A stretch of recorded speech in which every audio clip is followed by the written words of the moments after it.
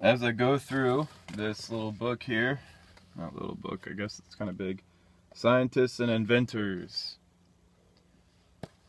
Uh, I wanted to look up, you know, stuff on electrical current and the guys that, you know, figured out all that stuff, and I stumbled upon the man named George Simon Ohm. He lived from 1787 to 1854. There's a there's a picture of the dude right there. But pretty cool guy. Certain uh, things I can learn from this gentleman. I have some similarities with him as well. He was ignored most of his life by scientists in his own country.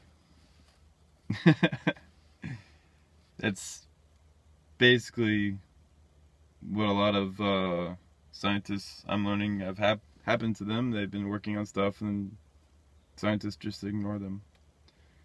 Uh, his dad was a mechanical engineer. He came from a poor family.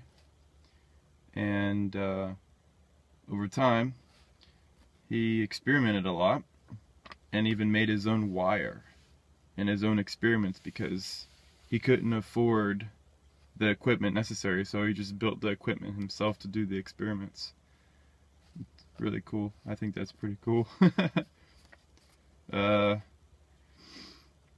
he's famous for formulating a simple relationship between electric current, voltage, and the readiness of material to conduct electricity. He was by far one of the most important people regarding taking the study of electrical uh, energy and electricity and making it into a quantitative study, meaning you could use numbers to formulate things and put everything together in that regard. I remember in the uh, in the little article there, he had published this paper, and instead of overviewing the experimental basis of it in full and just only going over that, he mentioned the experiments that he did and very, very little bits. And the rest of his paper was dedicated to mathematical derivations. And it said in the book that it was very, uh, it was a bad decision on his part because what happened is that the German scientists that read it, they just glossed over the experimental basis of it and looked directly at the math portion.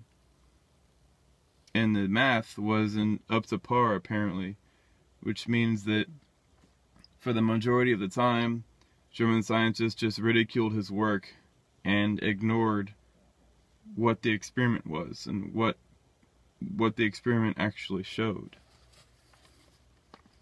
So that I think can translate to my own experience I don't believe math is very important in regards to getting out the main ideas, and that's why I'm focusing on the main ideas and completely ignoring math. So I think it's good that I'm doing that.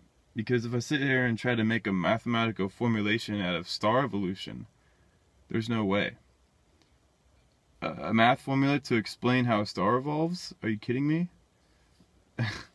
Those things are so complex, man. There's no way you, one single math equation can explain all that stuff. Are you kidding me? Uh, he was actually an, an ohm here. He was he was ridiculed so strongly that he was even forced to to resign his school post.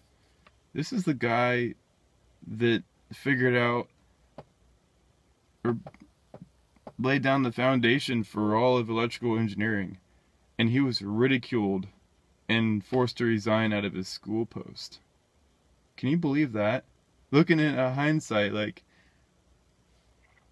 who's the bright who's the bright dean of of teachers or the president of the school who thought that was a good idea to force the one of the founding people of all of electrical engineering that you're not up to par. Well, basically, it was probably on social you know, constructs. He was ridiculed so much that it made the school look bad, so they had to get rid of him. that's how science is done, in case you didn't know. In 1842, the Royal Society in London admitted him as a member because they were like, oh dang, he actually discovered something really, really important and we're using it. So, you know, of course, they were obligated to admit him as a member to their little society, to their little club. And being that 13, that 55 years old when he got admitted to that. And in 1849, a full five years before he died, he was eventually given professorship at the University of Munich, meaning they eventually were like, dang, we messed up. Here's a full professorship at Munich, and you can just teach people about this stuff. So basically, make the discovery, write it all down. People focus on the wrong things that you don't really want to concern yourself with. They ridicule you, you get fired. Years pass, and then you eventually get admitted back into the society again. Or into the into the club. I call it the big club. So basically that can happen over a person's lifespan. I mean George here was alive from 1787 to 1854, so a full 67 years of working on things and having a roller coaster type. So, if any scientist can learn from this gentleman, it would be to work on your experiments, develop your theory to the best of your ability, because the truth is, you're not going to be able to determine if this has importance and if it does have importance, people will still ridicule you and tell you how much of a idiot you are and force you to resign from your school post because people in large groups in social settings tend to be dumb. They don't realize that that something could be important in their midst, so they just ignore it and they move on or they want to focus on something that isn't the main idea and they ridicule you for that and then they move on. So keep that in mind. The the social groupings of how scientists, you know, they deal with social settings is is what makes history, but at the same time it gets in the way of progress. So just, you know, keep that in mind. And if you want, read more about this this gentleman. I believe there probably is much more to it. This is just a little. Uh, it just glosses over his life in a whole two pages. I don't really think that does him justice. So maybe I might look up some more information on this gentleman. Today is June 16th, 2015. Everybody have a good day.